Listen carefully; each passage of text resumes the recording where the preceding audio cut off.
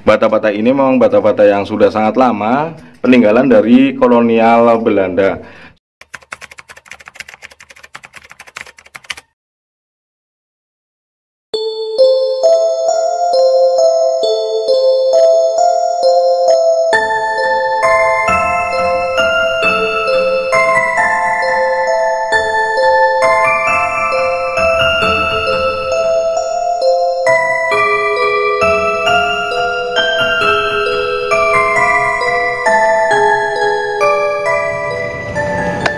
Assalamualaikum warahmatullahi wabarakatuh. Salam sejahtera, Om Swastiastu, Namo Buddhaya, Salam Kebajikan, dan Salam Rahayu.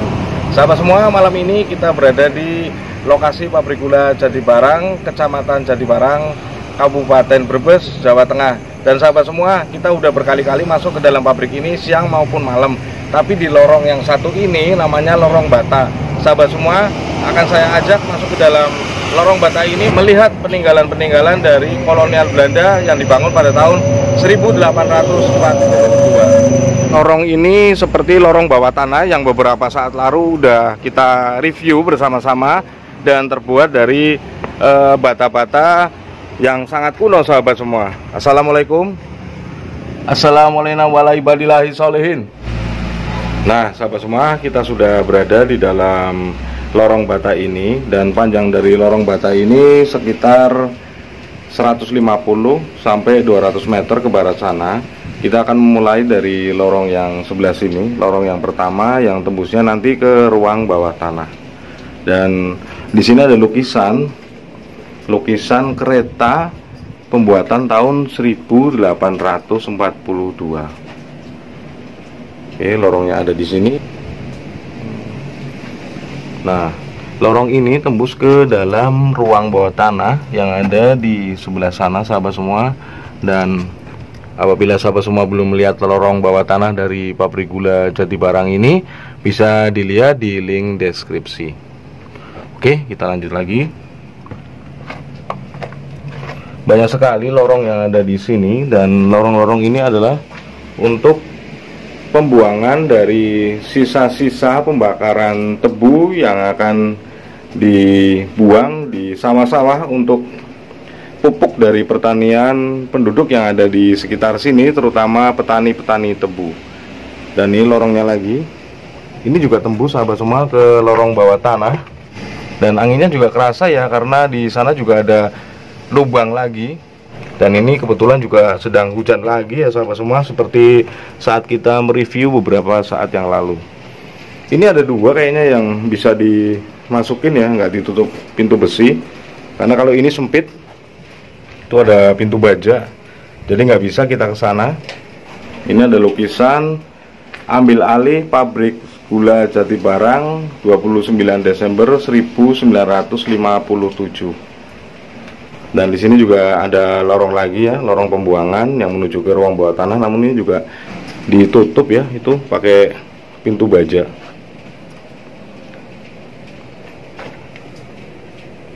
Nah, kemudian ada lukisan lagi di sini. Ini kayaknya juga pembesar-pembesar pabrik saat itu sedang melakukan peresmian kayaknya ini ini lukisan-lukisan mesin-mesin pabrik yang ada di bawah sana. Jati Barang Swicker Fabrik 1842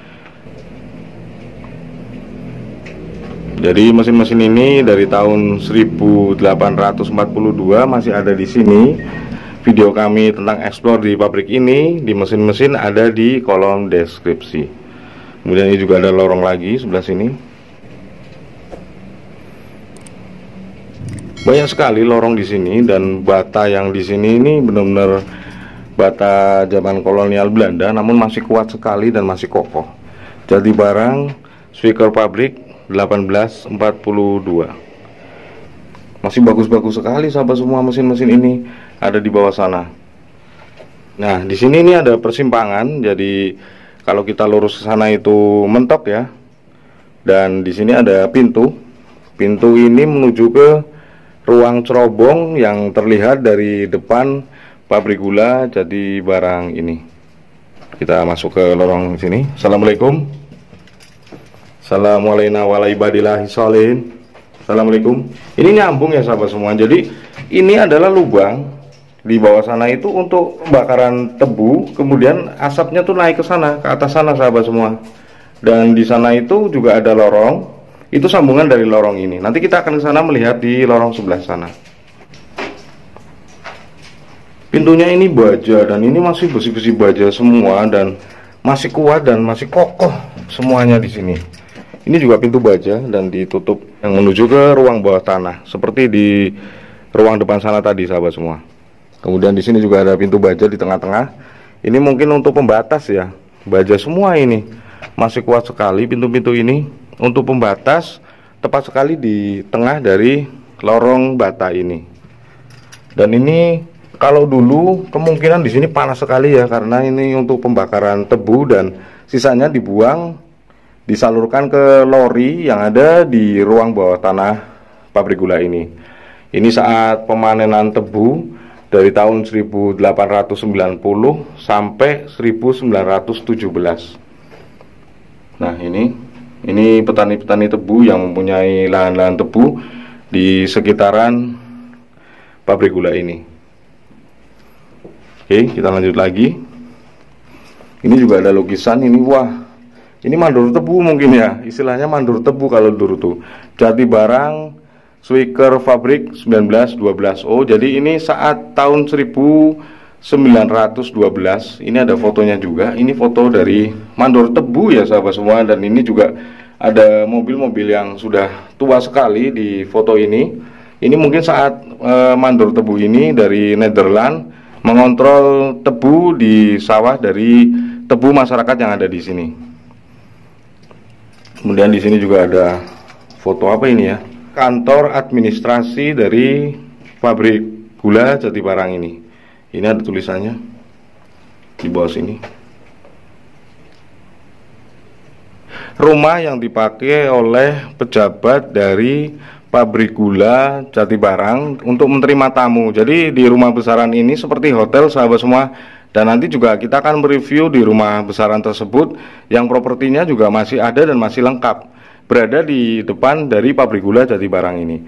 Kemudian ini pintu ini sama dengan yang di sana tadi, jadi tembus ke pintu cerobong yang tadi kita lewat dari sebelah sana sahabat semua. Nah, kita mau ke sana namun ini khawatir ya barangkali jeblos karena ini udah bangunan-bangunan tua ya walaupun ini baja dan itu kan e, lubang ya untuk pembuangan dari asap pembakaran tebu naik ke sana itu ke cerobong yang ada di depan dari pabrik gula ini. Kita tadi kan di sana, kita sekarang ada di sini. Jadi ada dua sana dan sini mengapit dari cerobong asap yang ada di depan pabrik gula. Ini pintunya pintu baja dan besinya juga besi baja semua sahabat semua. Jadi kuat sampai lebih dari 100 tahun. Ini ada lubang lagi. Lubang tungku ya. Nah, ini sana ini tembusnya ke ruang bawah tanah yang ada di sebelah selatan kemudian ini juga namun ini tutup semua jadi kalau kita mentok di sini nanti kita akan menemui pintu besi pintu baja. Pintu baja ini tembus ke ruang bawah tanah sahabat semua. Sayang ini ditutup ya pintunya. Kalau ini dibuka gitu tembus ke ruang bawah tanah dan langsung jalan ke sana gitu. Ini gede banget ini kayak buat masukin tebu sahabat semua.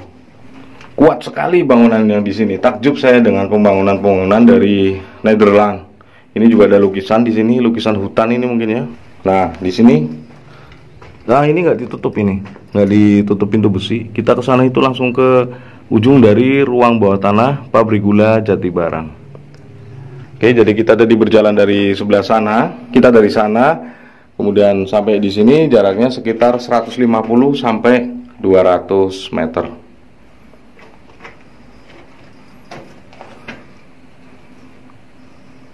Oke sahabat semua, kita sudah menelusuri lorong bata ini, lorong demi lorong. Kita udah lihat tadi dan bata-bata ini memang bata-bata yang sudah sangat lama, peninggalan dari kolonial Belanda.